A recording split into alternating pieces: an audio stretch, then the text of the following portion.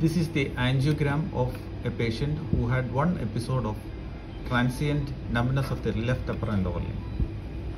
On MR angiogram and carotid Doppler, he was suspected to have 70 to 80 percent stenosis of the proximal right internal carotid artery. Angiogram initially might appear as if there is a stenosis of the right internal carotid artery. But on careful examination, we can find that there is a wedge-like protrusion into the proximal internal carotid artery, which is typical of a carotid web. Let us see what happens during the angiogram. In the initial phase, this portion, there is stasis of blood and hence that cannot be replaced by the contrast, hence it is not visualized on angiogram.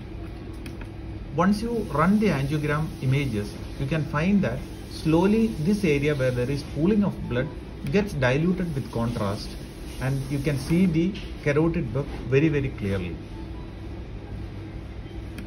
And as you proceed in the later images of the uh, DSA, you can see that there is stasis of contrast in that area which is above the web, which is very typical of a carotid web.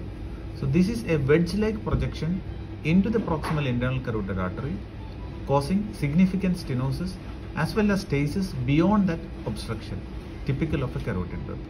The treatment ideally in symptomatic patients is carotid artery stenting. In patients who are not willing for carotid artery stenting, they should be started on anticoagulation because there is significant stasis beyond the carotid.